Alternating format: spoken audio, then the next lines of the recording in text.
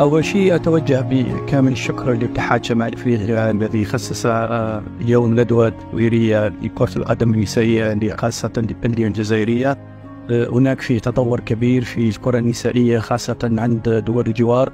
فاليوم الاتحاد الجزائري أبى أنه يستغل فرصة تواجد طاقم آه، اتحاد شمال أفريقيا وكل المحاضرات اللي كانت هنا على أساس أنها تكمل الندوة التطويرية لاتحاد شمال أفريقيا يعظم الندوة هذه ممثلات عن فرق اللي تشارك في البطولة التأهيلية هذه نتاع كأس أفريقيا للأندية ولكن حظ ممثلات عن آه، فرق والنوادي النسوية داخل آه، آه، الجزائر.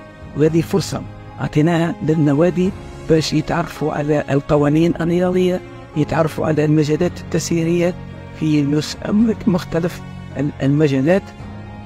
اليوم التكوين متاعنا باش يكون كيفاش نطوروا الناس الموجودة في الكواليس اللي تخدم في الإدارة ونعطيهم أكثر تطورات في العالم آه، وفي القارة الإفريقية إن شاء الله.